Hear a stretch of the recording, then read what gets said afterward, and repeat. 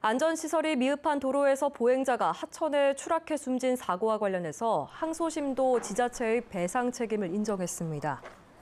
광주고법 제2민사부는 피해자의 유족들이 무안군을 상대로 제기한 손해배상 소송 항소심에서 군이 해당 도로에 가로등과 난간을 설치하지 않는 등 관리 소홀의 과실이 있음을 인정하되 피해자가 음주 상태였던 점을 들어 군의 책임을 20%로 제한한 1심 판결이 정당하다며 항소를 기각했습니다. 피해자는 지난 2022년 4월 무안군 청계면에 한 보도를 걷다가 하천으로 추락해 치료 도중에 숨졌습니다.